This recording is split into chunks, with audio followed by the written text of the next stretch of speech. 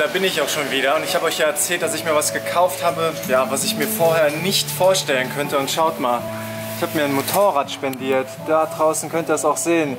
Ich würde euch das jetzt auch gerne mal hautnah zeigen, aber wie ihr sehen könnt, ist es gerade dermaßen am Schütten. Ja, und ich habe auch gerade meine ersten Fahrstunden hier gehabt und ich habe einen mega, mega guten Fahrlehrer, den würde ich euch jetzt gerne mal vorstellen. Und zwar der David aus. Köln.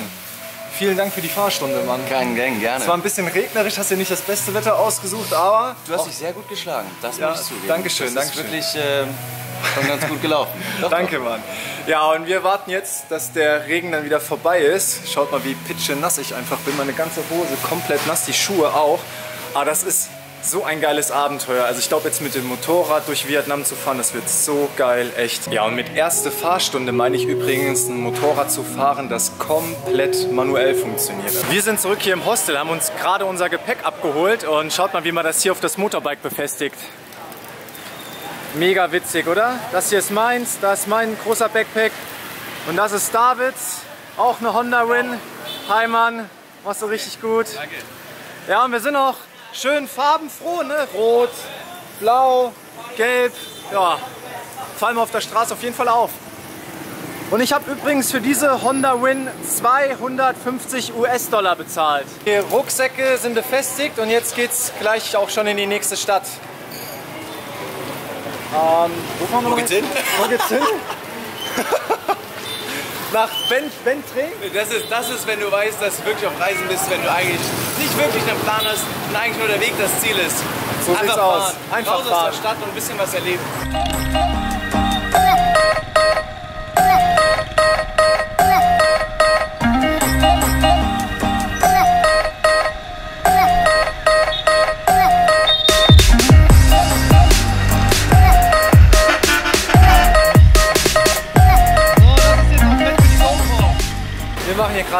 Pause und der David, der spendiert sich hier einen Ölwechsel.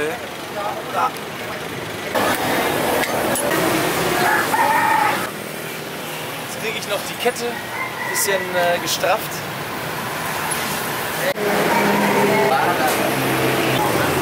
Da wird jetzt gerade der neue Dichtungsring hergestellt. Ist auf jeden Fall nach Norm, oder? Auf jeden Fall. Ich habe aber großes Vertrauen, muss ich sagen.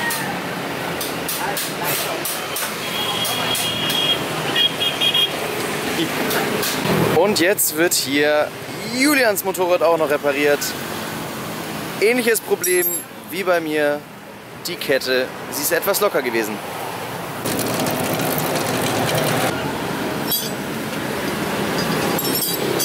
Ja, obwohl hier gar keiner Englisch spricht, muss man hier mit Händen und Füßen einfach mal ein bisschen versuchen zu kommunizieren. Aber in den meisten Fällen klappt das auch. Das ist dann ganz cool. Ja, jetzt versuchen wir mal durchzufahren. Dann kommen wir heute hoffentlich noch vor Sonnenuntergang an. Aber guck dir mal das an. Richtig geil, Mann. Die Wolken, sie ziehen über uns herein. Mal gucken, ob wir noch trocken ankommen. Hoffentlich, Mann. Ah, das kriegen wir schon hin.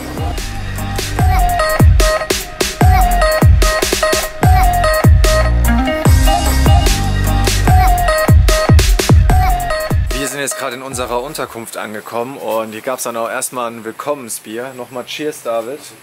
Cheers. Cheers. Und ja, wir haben gerade eingecheckt. Ah, ich muss erstmal einen Schluck trinken, sorry. Mhm. Gerade eingecheckt und wir zwei sind hier ganz alleine in einem Sechser-Schlafsaal und jetzt schaut euch den mal bitte an. Wie geil das einfach ist. Das hier, das, das riesige Doppelbett, das ist meins. Das ist Davids und hier sind halt noch zwei andere Betten und wir sind einfach echt mal die einzigen hier. Das ist so cool und meine Motorradtour, Fahrt, die erste für mich, die war einfach nur der absolute Wahnsinn. Das macht so viel Spaß, das könnt ihr euch echt nicht vorstellen. Ich glaube, was man noch erwähnen muss, ist nicht nur, dass das Zimmer ziemlich cool ist, sondern wenn man aus diesem Zimmer rausgeht, sind wir auch noch an einem Fluss. Und die Location dieser Unterkunft ist einfach der absolute Wahnsinn. Es ist, hat so ein bisschen was von Dschungel. ja, und das ist Wahnsinn. 8, 8 Euro zahlen wir. 8 Euro und das, was der David gerade erklärt hat, also wie das draußen aussieht, das zeige ich euch jetzt gleich mal. Und so sieht das von außen aus. Hier überall Palmen. Schaut mal, hier ist sogar noch ein Fluss, eine Holzbrücke. Aber ich muss euch jetzt noch was richtig Schönes zeigen. Kommt mal mit. gehe ich jetzt mal hin.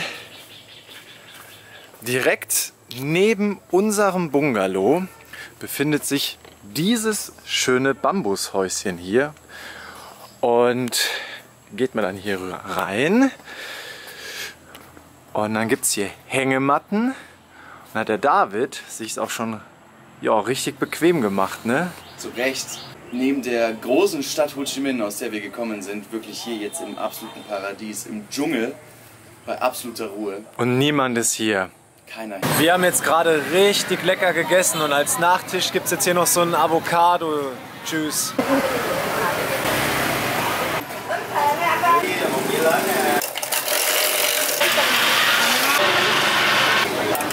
Und weil es so geil ist, gibt es jetzt hier auch schon den zweiten Shake. Wir sind zurück in der Unterkunft, die Moskitonetze auch schon aufgehangen. Und was ich euch übrigens noch erzählen wollte, der David hat die Tage sein erstes YouTube-Video hochgeladen und das müsst ihr euch anschauen.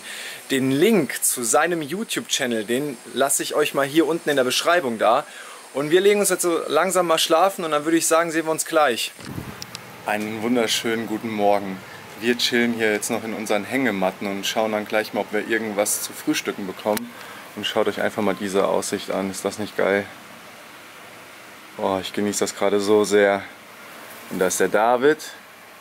Der hat übrigens auch die Sony Alpha am Start, aber eine neuere Version, die 6300. Das ist korrekt. Macht sehr geile Aufnahmen, der Kerl.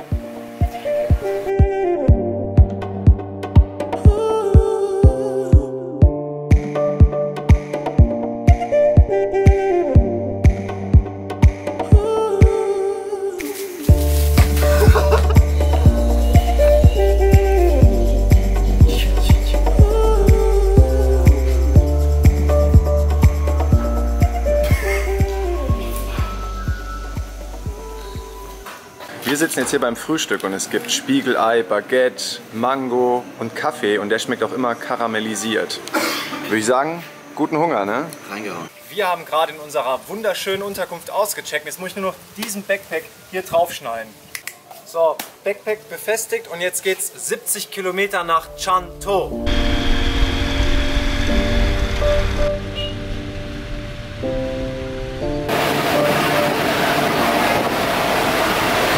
Sind jetzt schon eine Stunde mit dem Motorbike unterwegs und sind gerade auf einer Fähre. Wir müssen jetzt wahrscheinlich auf unserem Weg zweimal eine Fähre nutzen. Wir machen hier gerade Pause in einem Teleshop, weil der David sein Handy aufladen möchte. Und hier in diesen Shops, da ballert immer so heftig die Musik. Und das ist hier echt noch harmlos. Als ich in Ho Chi Minh meine SIM-Karte gekauft habe, da war das echt gefühlt, als seien wir in einer Großraumdiskothek.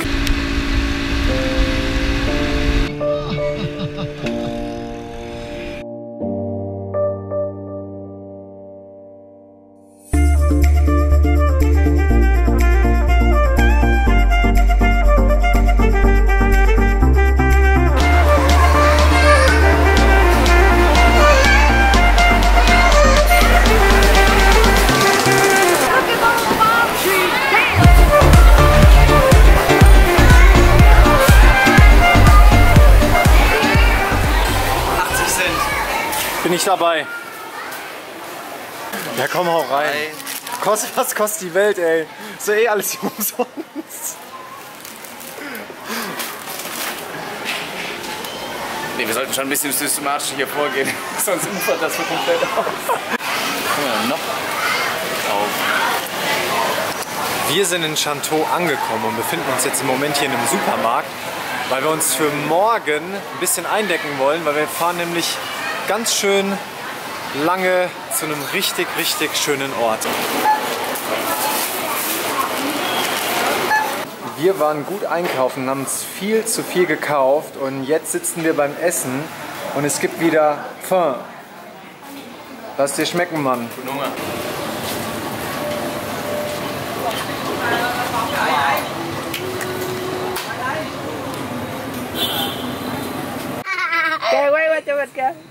Die machen Faxen hier.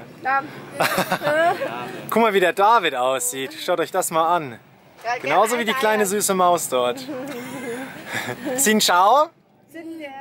So Leute, und ich kann mich jetzt gerade überhaupt nicht entscheiden, ob ich dieses Hemd hier kaufen soll, das da, oder aber dieses hier. Das ist blau. Und da ich mich nicht entscheiden kann, lasse ich jetzt die kleine Maus entscheiden.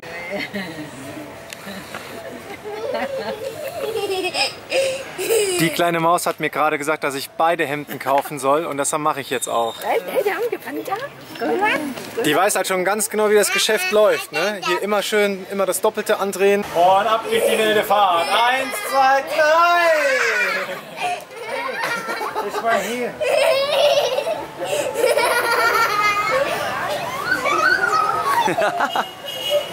Und jetzt kommt das Finale.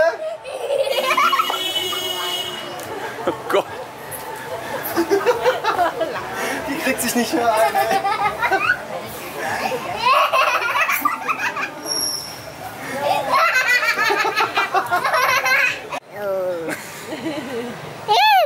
Ey. Oh Die kleine Maus, die macht jetzt gerade hier die Vlogs. Hey. oh.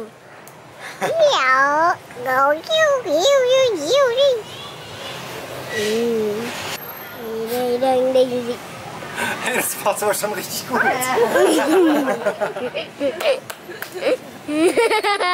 So witzig. David und ich, wir haben gerade Timmy auf der Straße getroffen. Hey man. Hi, hello. Nice Und to meet you guys. der hat uns einfach mal gerade seine ganze Familie vorgestellt. Hey, hello, sin ciao. Und ja, wir haben jetzt hier noch einen Avocado-Smoothie uns spendiert und sitzen jetzt mit denen hier gemeinsam und quatschen so ein bisschen mit denen. So cool, echt.